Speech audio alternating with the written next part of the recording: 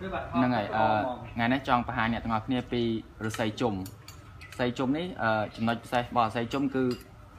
មែករបស់វាជុំពាត់ពីនេះមកហើយវាជុំមកដល់ខាងនេះហើយវាពាត់មកជុំទៀតមកចេញខាងនេះ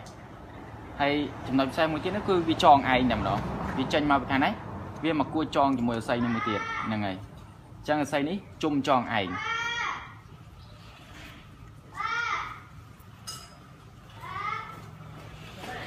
ហើយខ្នាតដាក់តាំងអាសនៈគ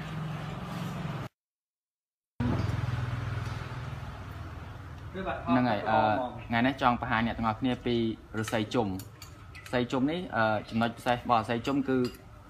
មែករបស់វាជុំពាត់ពីនេះមកហើយវាជុំមកដល់ខាងនេះហើយវាពាត់មកជុំទៀតមកចេញខាងនេះហើយចំណុចពិសេសមួយទៀតនោះគឺវាចងឯងតែម្ដងវាចេញមកពីខាងនេះវាមកគួចចងជាមួយឫស្សីនេះមួយទៀតហ្នឹងហើយអញ្ចឹងឫស្សីនេះជុំចងឯង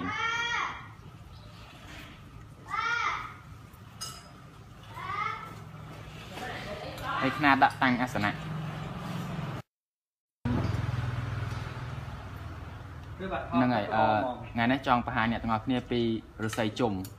ឫស្សីជុំនេះអឺចំណុចពិសេសរបស់ឫស្សីជុំគឺមែករបស់វាជុំពាត់ពីនេះមកហើយវាជុំមកដល់ខាងនេះហើយវាពាត់មកជុំទៀតមកចេញខាងនេះហើយចំណុចពិសេសមួយទៀតនោះគឺវាចងឯងតែម្ដងវាចេញមកពីខាងនេះវាមកគួចចងជាមួយឫស្សីនេះមួយទៀតហ្នឹងហើយអញ្ចឹងឫស្សីនេះជុំចងឯង